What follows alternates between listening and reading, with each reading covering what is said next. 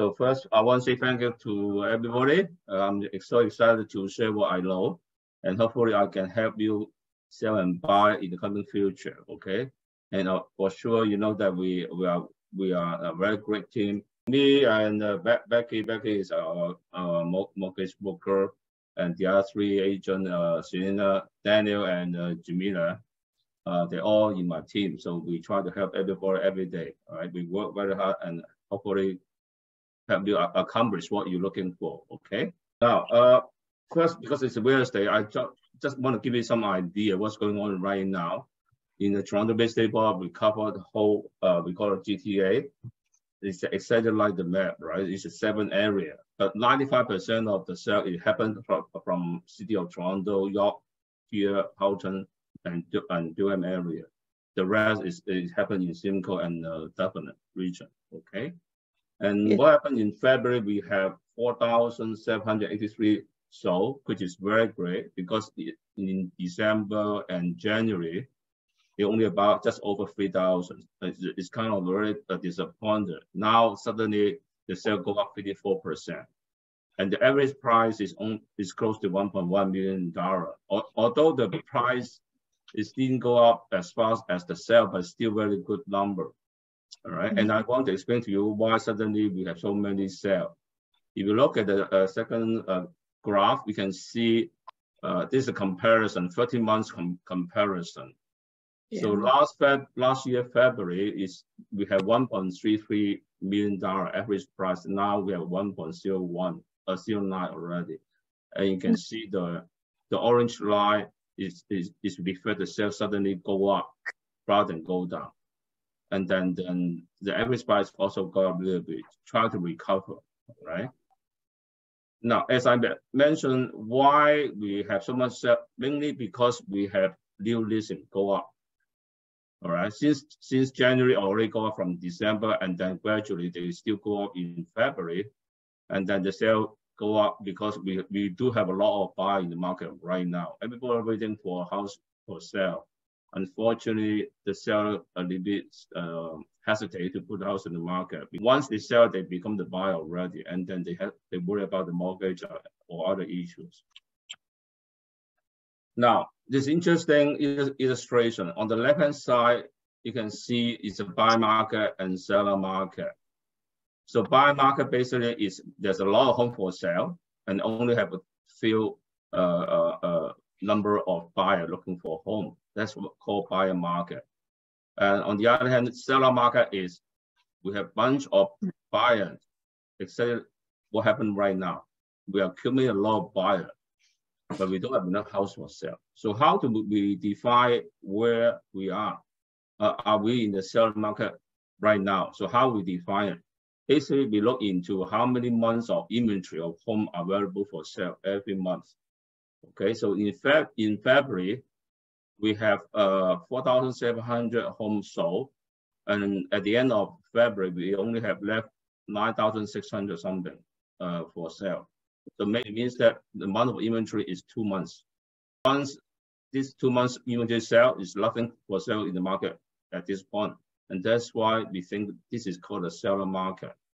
At the same time, the absorption rate is a 50%. It means that every 100 homes on, on for sale, 50% will, will, will go very, very fast. So we are in the seller market right now, actually. Uh, even even the people say, saying that, oh, it's, it's difficult to buy and that's why there's, there's a lot for sale. Not necessarily, okay? And you can also compare the sale price, which last February, we had 1.334 million dollar average price. Now it's 1.095 million the price actually come down 28%, which is a lot. And a lot of uh, buyers who have money, this is the good, a good time for them to buy. And if you can afford it, buy right now. Because once the interest rate stabilize or even going down, the market will be very, very crazy more than last year, actually, okay? This slide show you what's the majority type of home actually selling in GTA. 43% actually in detached and 30% in condo apartment. In fact, when I start my career, the percentage of condo for sale is probably around 20 to 21%. But in the last 10 years, more condo in the market right now, okay? Uh, and of course, there's 10% in the freehold townhouse, and then another 8% on condo townhouse, okay? And of course, this um, um, ratio will be very different from uh, in different city, okay? But this is called a GTA. Now, if you want to buy the detached home, you can see from last year February, is the detached home is 1.8 million dollar, but all the way to February this year is only 1.4. It, it dropped it, it dropped for 20 percent, which is uh, still a lot, and you can see both price and the sale go up at the same time. It's very good side, the trend would go up that way because both both number is go at the same time. So so if you have money again, don't wait because when you're waiting, these two numbers will not come down, will go will continuously go up. Okay. And if you want to buy condo, the condo the um the it didn't go down 20%, it only come down about 12% from last year, February. Now, the average price of condo apartment is 700 uh, and uh, $705,000, which is a very good number. It's not very expensive nowadays, honestly, right? You go out to rent an apartment, one bedroom already close to 2,500 every month already. So you, if you have money, buy the condo is, is a good choice too. This chart uh, tell you how many home actually sold in February. Have this is five area is contribute 95% of sales in, the whole GTA. So in February, the whole GTA is 4,007 homes sold. And um, of course, almost half of them is happening in city of Toronto. But the rest will, will be in York region, Peel region, Halton, and uh, Durham. And, and of course, Durham is, is a very hot area in the last five years because of the price is very uh, competitive. Now, this is uh, this is the price, okay? So you can see the, the average price of GTA and average price of City of Toronto, they are very, very close. It's close to $1.1 million for average price. And the next one would be uh, uh, the, the York region, which including the Markham, Newmarket, Vaughan, and Stouffville area. Uh, the average price is 1.3. In York region, including the Markham, uh, Vaughan, Stouffville, Richmond Hill, Newmarket, Aurora. And then in Peel region will be Mississauga, mm. uh, Brampton. Halton will be Oakville, yeah. uh, uh, Burlington, and Milton. And then the Durham will be Pickering, Ajax, uh, Whitby, Oshawa, Clarington. Mm. Now, everybody want to buy detached home. And of course, nowadays it's very expensive compared to a couple of years ago. And of course, that's why everybody go to Durham region because Durham region, the average is actually start from less than $1 million.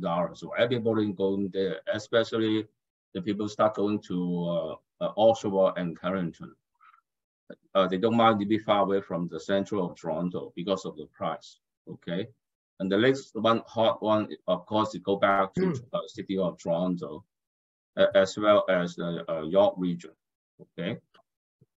those people who, who think the detached home, uh, it, or we call it freehold, is very expensive. Of course, they consider buying the condo apartment.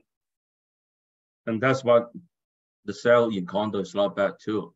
Uh, but of course, you have to pay attention this chart. The most expensive condo is not in city of Toronto, is in Halton, which is the Oakville. Okay. And they have a lot of big construction there too in the next meeting, uh, if I have, uh, if I can uh, have a second uh, seminar with you guys, I would uh, talk about city of Toronto because city of Toronto, they have an east, central, and west. It's a big area. Uh, half of the sale is in the city of Toronto. So if you guys want to buy condo apartment in a good price and good location, probably you should start in Scarborough. Okay. And uh, now if you look, look look back at this chart, uh, if you want to start looking for a condo, if you don't mind distance, go to uh, Durham uh, area. Okay, you start from 537,000 only. Okay, and the next one, of course, it is the uh, Peel region, which is the Mississauga and and then Brampton. And this study is uh, I, this study is very special because I try to put the townhome, uh, freehold or condo town together because it's a choice for the consumer. Uh, because if you, if you buy a freehold, of course you don't pay the condo fee, but the price price right is not uh is not uh, very low. Uh, the lower price in Durham is uh, 871,000. But you buy the condo townhome, you pay almost $200,000 less, which is very good for the first time buyer, right? You don't have to buy a house immediately, uh, especially for the first time buyer or you just start to work.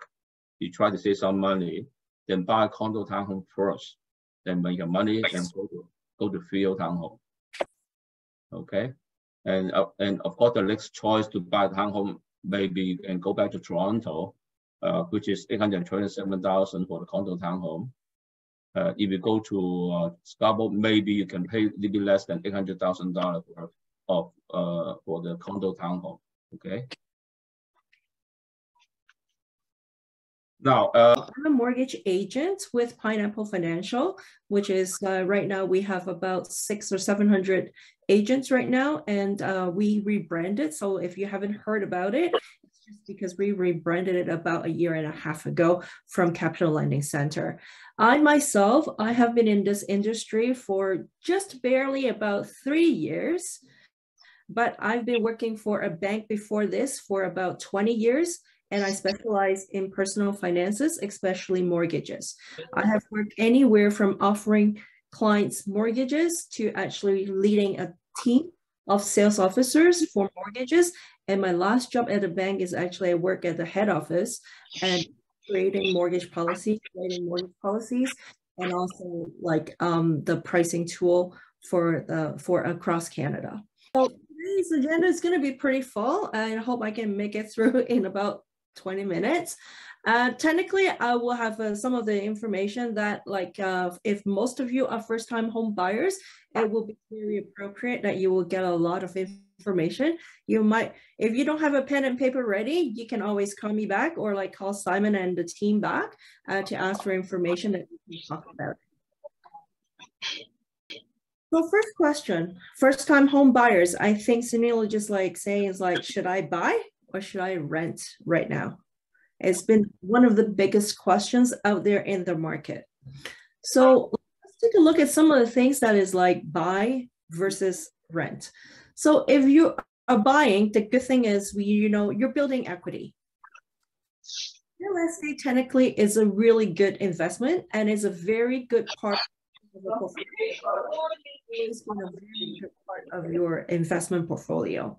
Because you also have a lot of stability and even though there's like a lot more privacy because now you're staying in your own home you can do everything nobody's coming bug you because it's your own space. So it's like especially during covid it is really is your sanctuary. So for for that those are really good things to buy.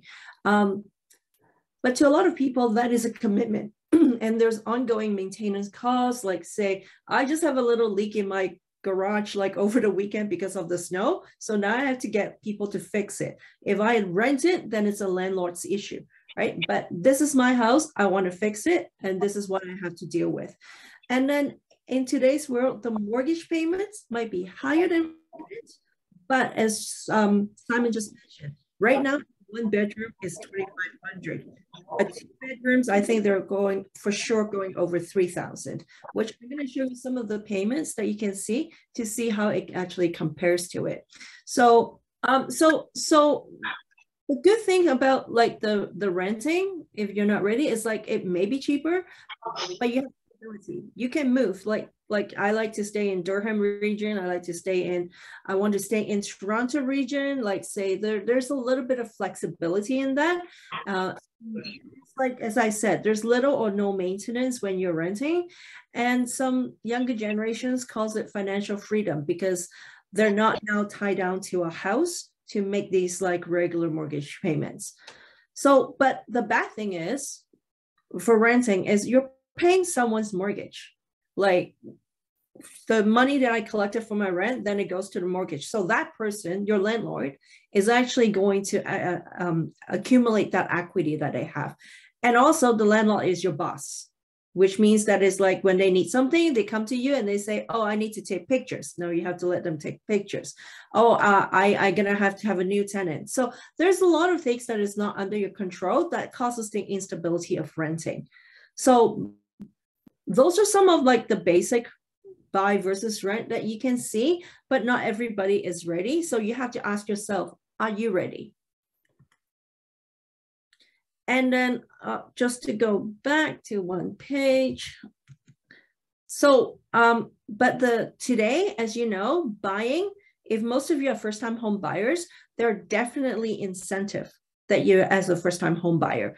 So if you are going to buying in into like say in the city of Toronto, which uh, goes back to which accounts for like more than half the sales there. In the city of Toronto, they're giving you a land transfer uh, tax rebate of 4475 $4,475. And across Ontario, you will get per household a $4,000 land transfer tax rebate as a first-time home buyer. On top of that, you might be even eligible for like a first-time home buyer's buyer's tax credit uh, for the year that you bought the purchase in, that can be now up to about 1500 as they just passed the rules. They raise it from 750 to up to 1500. So there's definitely some incentive to become a homeowner. So now I guess this is like, I hope this will answer some of your questions, Anila, is like say, should we hold right now for lower rates? Right now, rates now are higher, but then the property price are lower. So in the next on, on my next slide, I'm going to show you some of the differences on actually how what are the how it influences you or how it affects you to actually to become a purchaser today. And then Simon also said, I mean, uh, once the rates drop, then the people is going to rush to it, and then there will be starting bidding war, and the price will be pushed up again. The other thing that you have to remember is like there are right now, um, Canada is open to 1.2 to 1.5 million of immigrants in the next three years. And statistically, these immigrants that comes in, there will be 60% that will end up in Ontario, and 80% of those who stay in Ontario would be buying a house in the within three years. In other words, if you are waiting and waiting, you will be in competition with another 64,000 household a year to try to buy a home. So can you imagine these people come aboard, they're ready, they have the down payment, they're ready, they want to buy a house. Your competition is now increased significantly. And also with the rate lower, it will be like, uh, like uh, it might go back to 20 offers, 30 offers like a couple years ago. So this is where we have to be careful. So it might be time to, it might be actually a best time to buy if you can qualify even at today's rates. But let me ask you, I mean, if people is like my age or have been in the business for over certain years, 5% and 6% is actually a fair mortgage rate overall statistically. And this is where we're sitting on.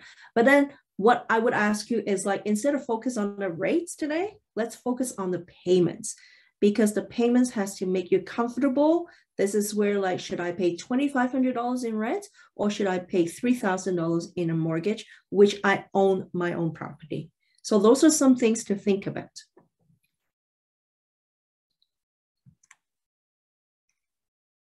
So I did some math for you guys. I know it's after some of us have dinner, so it may not be the best time to do some math, but I have done it for you guys ahead of time.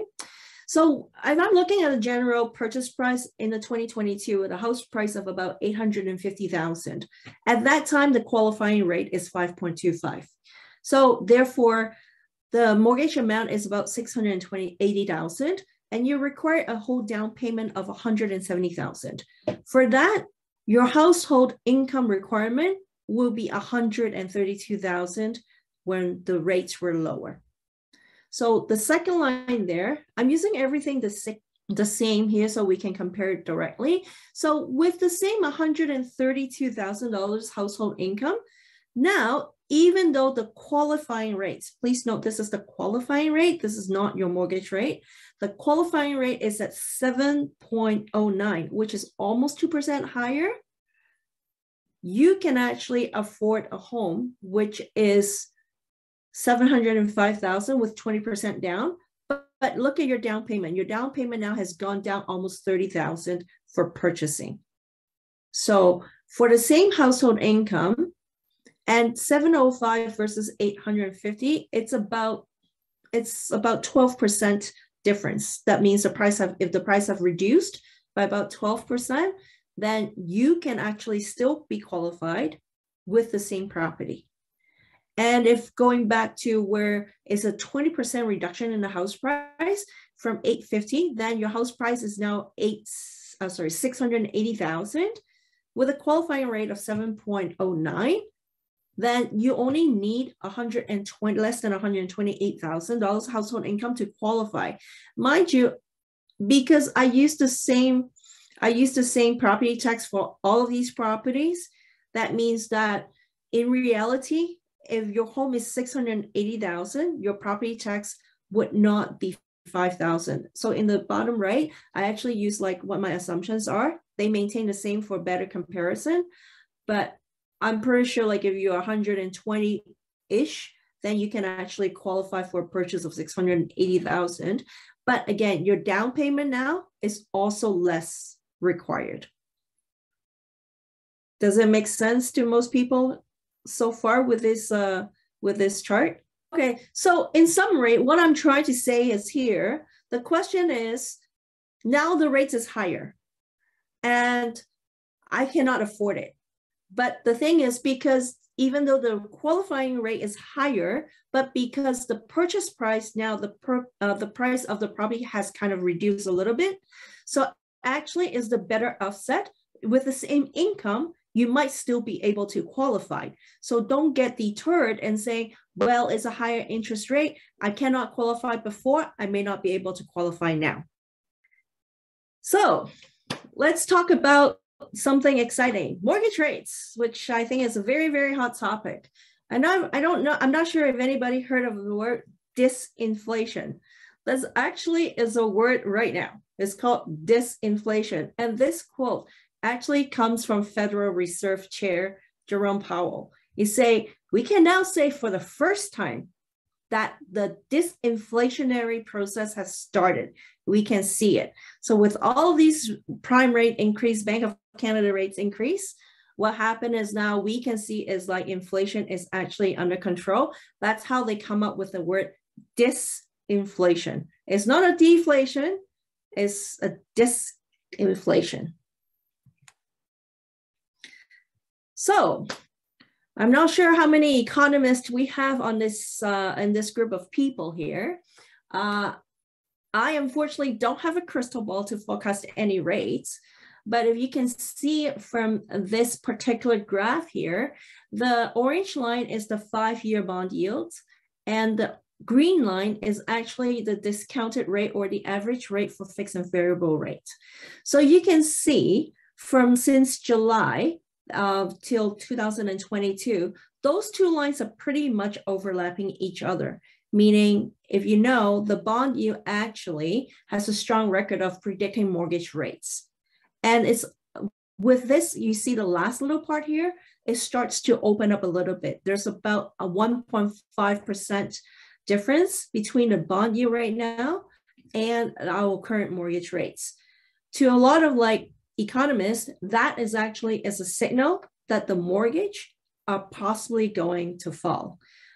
But at the same time, we also have to look at our very dear neighbor, the US, because they did say they are going to continue to hike, and that will also uh, affect our bond yields in the next little while. I can only tell you from statistic and historically what is there. But if I go a little bit deeper, it's like, say, um, that's US, right? But US does have an effect on us, but it's not direct. It's like an indirect hit on us. So we just like have to kind of do our due diligence in Canada to see that.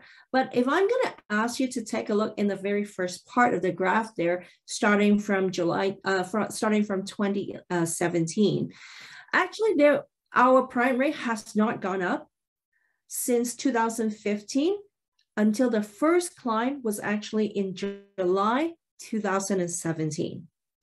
And then what you can see is also every time they increase, they increase only by a quarter percent because that's how they regulate the system. And that quarter percent was increasing until October 20 and 2018. So you can see that orange line was like climbing a little bit and the, um, the green line was climbing a little bit between 2017 to 2018.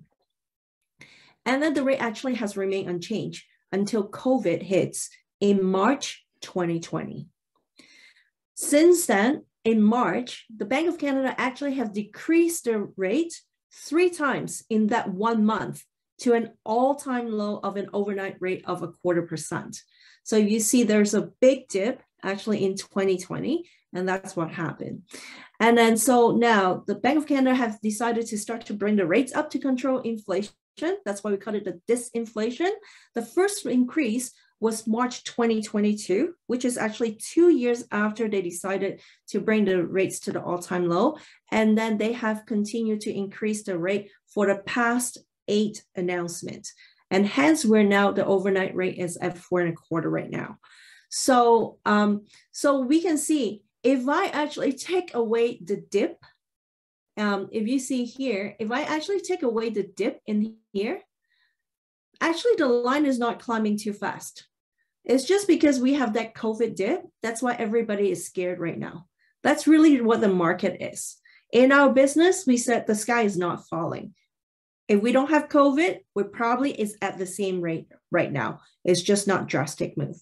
So tomorrow it will be another announcement. So it was very unsure if they're gonna hold or they could put a, put a quarter in it. So, but then uh, after after March 8th, the following one will be April 12th. So we're gonna have to see what the government decided to actually with all of these budgets that's just announced. And with now we have our inflation is slightly under control uh, with the employment rate, all of those things, it will have all of the effect. So we'll wait for tomorrow at uh, tomorrow morning when they actually announce if they're gonna hold or if they're actually going to increase the rate. So as I said, what's happening really with all these rate changes, what's happened. So what I have captured is like, say, there's three types of, mostly three types of insur uh, mortgages rates that we deal with. One is the insured, is when people have less than 20% down payment. One is called insurable, is when they have, uh, when the purchase price is less than a million dollars and they have 20% of down payment. And one is the uninsured, which is when a property is over a million dollars. So what I've captured here is like, if you go to if, if you go to a restaurant and have seafood, they call it seasonal price or market price. That's what I'm calling like the mortgage uh, rates right now, because you can see they actually fluctuates. There is no one way street. So you can see for insured, it dropped on February 10th, but it goes back up a week later and it's now has gone up again. For insurable, it went up and then it went down and then it went up again. And then even for insured, same thing. It went up and down, it went down, it went up and it went down. So the reason why I want to show you this, what the rates are going is like, do we really want to wait for the rate? Because is rate an impact on you to actually to decide if you want to buy your house now? Because the rate is fluctuating so much that I cannot even tell you tomorrow what is the rate is. We normally in the in a couple years ago, we normally will be able to get like rate changes maybe like three days before the actually they tell us like we're changing our rates like in three days. So get all your uh, application in. Now we get it sometimes, if not the night of, it will be even like we're changing 12 o'clock at noon. So this is how quick and how fast the lenders now are reacting to the rate changes in this market. So come back to the story is like, should I wait? Because like, yeah, like if there is a gap in the bond and the market rate, it looks like that market, uh, the mortgage rate might be lowering. Should, should I wait? Now, I don't, if you guys have a crystal ball, I don't, but I can tell you it's very unpredictable right now with the rates, but it seems like it's sitting around the 5% area, depends on the type of transactions you have. So for me, it's not worth it's not really worth um, it's not really worth waiting if you're really ready to own, especially owning your first home and become paying your own mortgage.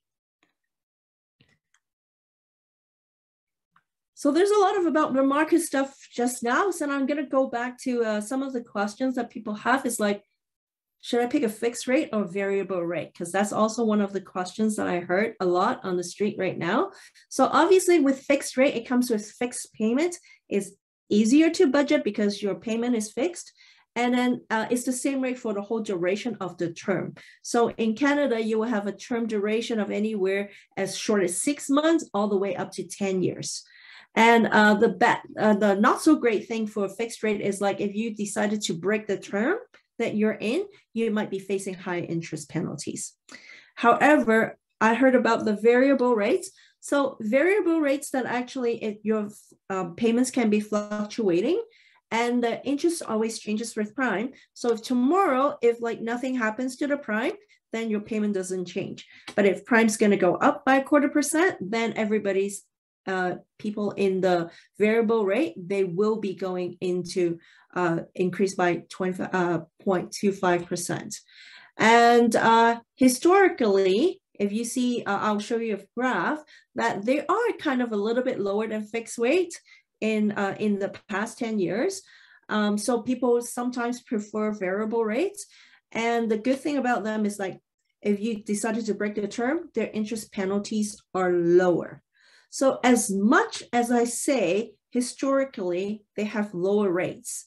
In Canada, as of January 20 and 23, there is um, the number, uh, the percentage of variable rate mortgages versus fixed rate mortgage is variable rate holds about 32% of all of the mortgages. That means only one in three people actually have variable rates. So that sometimes is like it, it's where like uh, when when the media goes out is like say oh my interest rate went up. It's like you know uh, my interest rate went up and i cannot affordable I, I, it's no longer affordable and now i might have to get out of my house. The thing is one in three person might have will have the variable rate. However there are a couple of lenders their variable rate are called adjustable rates what they do is they're not true variable.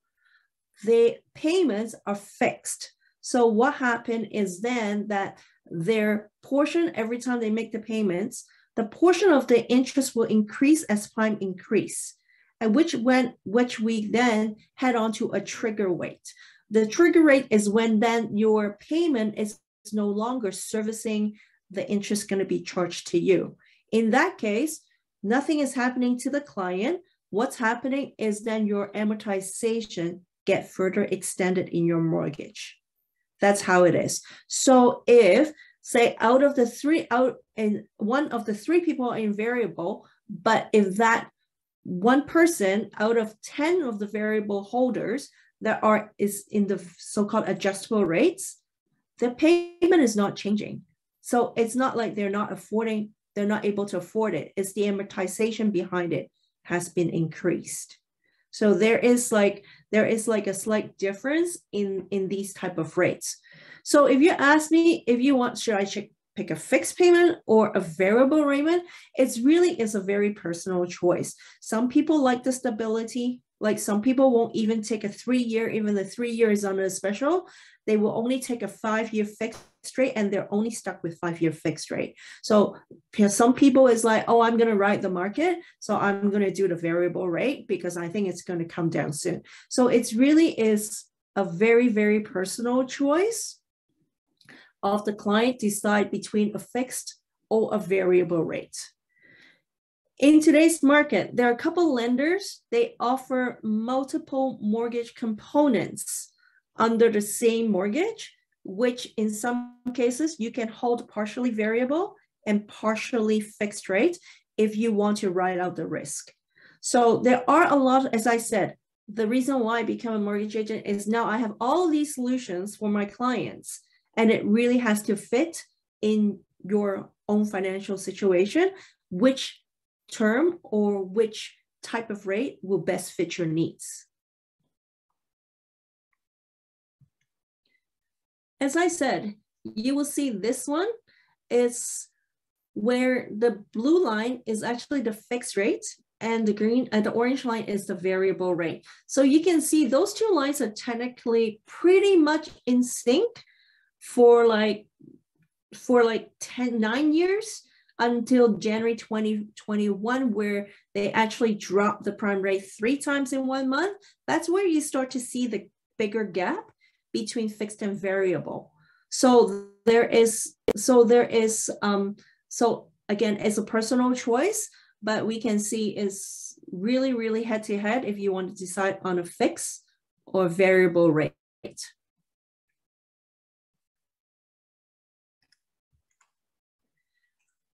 So now let's get into the nitty gritty things. How do I qualify for a mortgage? So there are different types of in income is one of the most important thing. So would say is like, are you salaried? Are you part-time? Are you full-time? Or are you self-employed? Um, so different lenders now have different options for each of these categories of employment. And uh, there is always this something that fit. Credit score credit score is very, very important in the mortgage world. Um, and when most banks are looking somewhere, if you have your own like uh, credit check, most banks are looking for somewhere around 650 to 680. That is the entry point for most of the banks. Down payment. The down payment actually can come from either gifted or from or your own savings. And uh, you can even take it out from your RSPs. And there is going to be a new home buyers TFSA coming out uh, shortly. Uh, so, and for gifted, we also have seen in Toronto itself, in uh, specifically in GTA, we have seen parents as a gift average out to be $130,000 to give it to their kids to buy their first home. Uh, mortgage I actually have uh, I actually have touched on it like before, which is the insured, insurable, and a conventional one. Uh, the, so what the banks offer is the banks offer one rate for all of these, most of this. It's like, say, it doesn't matter if you have 5% or 20% or 35% down payment, they normally have like very similar rates. Whereas uh, other mortgage financing companies out there, due to risk on how much down payment you put down, sometimes like their uh, um, the rates are different when you are able to afford um, uh, a higher down payment or if you have less than 20% because when it's insured, someone else is taking the risk away from them. So they are okay to give you a slightly lower rate uh, in that case. So in short, or in summary, there is a program for everyone. It's just a matter of you have to reach out to discuss what are your plans so we can actually go and discuss what program is out there among my 40 plus lenders that will fit you. One of the things that can help your uh, uh, your uh, one of the things that can actually help you to further qualify is extending an amortization. So currently, if you're an insured mortgage, meaning you have less than 20% down payment, you're only allowed maximum of 25 years amortization. But when you have over 20, 20% or more, then you can go up to 30%, I mean, sorry, 30 year amortization. And there are some so-called B lenders, which are the smaller lenders. They can, some of them, they can actually go up to 35. So here, I just want to give you um, a, a, kind of a, um, a look to see is what is the difference when there is a five-year difference in amortization. And I have enclosed like the actual payment difference for you here. And what is the income required? So if generally like say if like you, you have like less than 20% and you have to go for 25 years, if your mortgage amount is $600,000 with a rate of 5.09, your monthly payment is about $3,500 and you need about 179,000 uh, 179,000 total household income to be qualified. But if we can actually, if you have the 20% and we can extend it to 30 years, then your income is only, you can be qualified uh, with 170,000 and also your mortgage payment will then actually come down to 30 to 35 or approximately. So you have some savings in your monthly payment based on that. So this is just an example how we can help you to qualify uh, is by using extended amortization. There's some also one other product that we can offer, which the bank does not offer, is called a non-stress test product. What is this is like, um, these are products for client that have 20% down payment, but because of the high qualifying rate, uh, they are not able to get qualified. So this is, uh, again, this is a chart that is based on everything that is like on the same playing field with a household income of $135,000. If we're going to qualify you through the qualifying rate, which is the stress test rate, uh, whichever your contract rate plus two. At so I use 739 right now. Your loan going to be qualified is going to be shy of $600,000. However, if we are able to take you to one of these lenders that they don't have to do the stress test, same $135,000 with a contract rate of 5.89, you can actually be qualified for over 650,000. And if I even do like an other a difference, another half a percent difference at 6.39, you still be able to qualify over 620,000. So that stress test rate of plus 2% does make a difference of what you can be qualified for. So those are just a couple of the examples of how I can actually help you with all of my lenders that actually to get you to qualify for the mortgage. So um, in, in some cases, like I have, uh, I actually have uh, realtors that will come to me is like, I actually, Simon does this with me too in our partnership is like, you'll have a client not sure if they're re ready to buy, then I'll actually run the numbers behind the scene with a with a with a couple of uh, meetings, a couple of uh, appointments with the clients, and I'll run the numbers to say if they're ready to buy, and then I'll let Simon as I will let the client no, like tell Simon that this is how much you can shop for. Like this is the range of the property that you can buy. And then they will go back to Simon to say, okay, well, Peggy said I can be qualified for this much. So what can you find me? So those are some of the partnership that I have with Simons